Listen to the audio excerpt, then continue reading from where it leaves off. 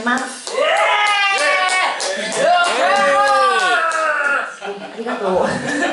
大体そんなちょっと昔な感じのこんな感じのハードロックとか作って歌ったりしてるバンドがあずですでこれ6年ぐらいやってるかな。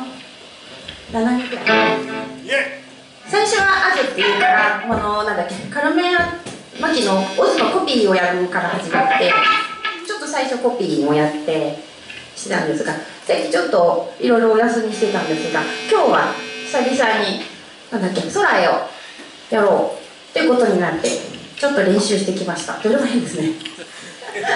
ちょっと練習しました。じゃあ聴いてください。あずで空へです。